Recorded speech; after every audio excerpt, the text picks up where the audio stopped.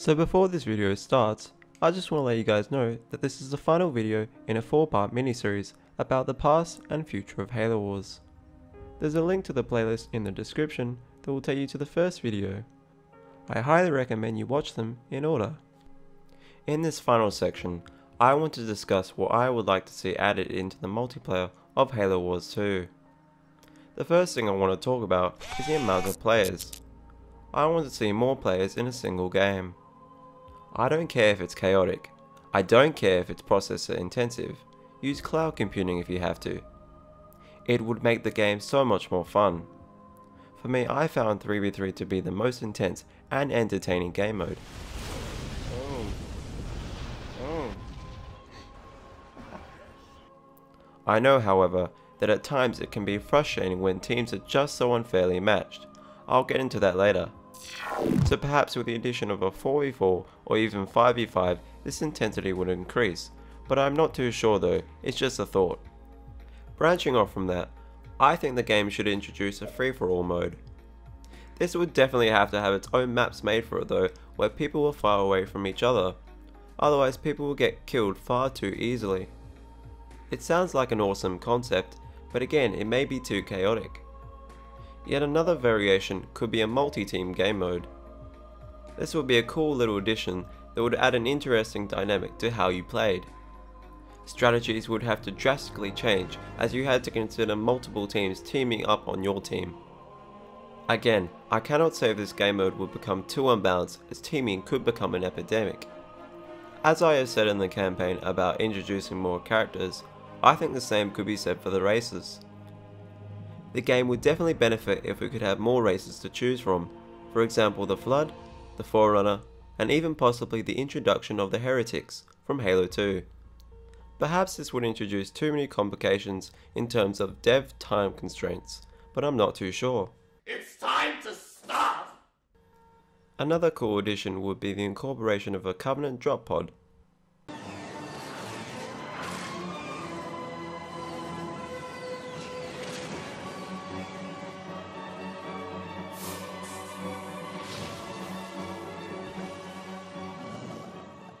We've seen them in previous Halos, so I don't know why they weren't in Halo Wars. My thought as to why it wasn't added was because the humans had Pelican transport and ODST drop pod, while the Covey had teleportation. So I'm guessing it could have been a balance issue, but it still could have been balanced in another way. I think that a way it could be balanced for the sequel would be to have a selection spread like a Pelican, with a cooldown of a D-bomb timer to perhaps make it balanced, although then it may get unused. So my next idea that I reckon was a missed opportunity in the first game is the incorporation of human leaders into the multiplayer. Now, I'm talking more like what we saw with Forge in the campaign. Let me give you some examples. Cutter could be a weak hero who gives a health and damage boost to infantry, while Forge could be a high damage hero. Finally Anders, she could be a repair hero, or maybe her special ability could be to turn a unit into its next tier of tech, say a canny tank into PT. Now these are just examples, so don't take them too seriously. But I would also like to see more variety of both human and Covey leaders to choose from in the sequel. This next feature I feel will be too difficult to incorporate into the game and that is the ability to take the point of view of a unit and perhaps take control of it. Kind of like first person mode. Maybe when you go into this mode, you have another screen in the corner which gives you an overall view of what's going on above you. I'm sure it would only be used if you were playing in a more casual pub lobby because if you are playing customs or ranked play, you need to know all your surroundings. But it definitely would be a nice addition. Now I want to talk about a definite thing that the sequel needs to have, and that is more vehicles from the previous Halo titles. Don't get me wrong, I love the fact that they made up new Halo inspired vehicles like the Vulture and Wolverine and added them to the game. I just think that they should also include pre-existing vehicles. One reason that this wasn't done could again be because of the complication in terms of the meta of gameplay. Let me just list off some vehicles that I think should be in the Halo Wars sequel. For the UNSC we have the Mongoose, used as a scout substitute then upgraded to Gun Goose then Marine with RPG. Not the Kestrel because this looks like a half-assed attempt to make a human version of the Ghost the Rocket Warthog, the incorporation of the Rhino into multiplayer. The Mammoth, similar to the vehicle from Gears of War, not sure how it could be useful. The Mantis, the Sabre for multiplayer space combat, the Falcon, slower than the Hornet yet more powerful. Now for the Covenant vehicles. First we have the Brute Prowler, the Spectre, the Revenant, maybe the Shadow, the AA Wraith, the Heretic Banshee, the Spirit, the Phantom, with the same functionality as the Spirit with a 50-50 chance to use either one, the Seraph for use in online space combat, and the ability to do bombing runs, much like we saw with the short sword from Halo Wars. For the Forerunner, they could add the Enforcer, a very cool vehicle from Halo 2. I think that if they could add half of these to the next game, it would be more than enough. The next thing that I believe should be in the sequel should be random terrain destruction, or change. Let me explain what I mean. A bit like in the first game where you could destroy rocks with a vortex or beam, except with the ability to actually change paths on the battlefield. Say a rock slide or avalanche occurs randomly at one point in the game, making ground troops unable to go that way, but also opening up another route. Or even a snowstorm, making it impossible to see a certain corner of the map. This is akin to the Levolution events in Battlefield, or the events that happened in Gears of War. Moving on, I want to talk about the Cyclops. As I said in my previous video, they were all but useless and completely inferior to the Engineer. That's why I think they should have multiple variations of the Cyclops, which branch off from just a building killer and healer.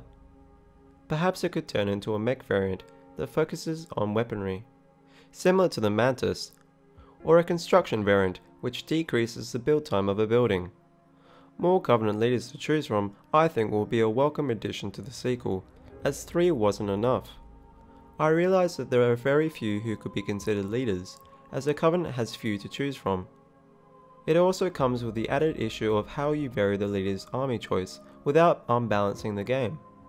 With that in mind, here are a few suggestions I have. Elite Shipmasters, each with a few variants. Brute Chieftains, again with a few variants. Chieftain of the Jiralhanae, from Halo 2. The three main prophets, Truth, Mercy, and Regret. Of course, I'm hoping that along with more Covey leaders, there will be completely other races to choose from such as the Flood and Forerunner, and they too have their own leader variants. This next one is slightly controversial, as it is about the rock paper scissors mechanics. As I said in my first video, it doesn't really work, and they shouldn't be included in the next game. It just isn't necessary in order to balance out how units attack each other. It should be down to each unit's individual stats, and how they're used in different armies that matters. On top of that, the counter units should still do their respective damage multiplier when attacking their preferred target. Going off of what I mentioned previously about space combat, I hope to see it as a game mode in Halo Wars 2. The ability to control space armies will be incredible, akin to Star Wars Battlefront 2, but in an RTS format. I'm pretty sure everyone enjoyed the space battle in Halo Reach, but many felt it was an unexplored mechanic, so that's why it would be better if it was done in multiplayer rather than the campaign, so as to increase the replayability. This next one is something that many of the long-time hardcore Halo Wars fans truly wanted. That being spectator mode, to watch games as they played out. This could be made more in depth through the incorporation of Force Game Chat, to prevent passing information.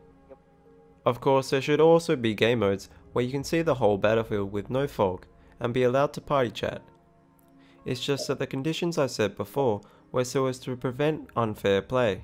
I think that this feature would be most used in customs and ranked play. This next feature follows on from the spectator mode, and that is theatre mode.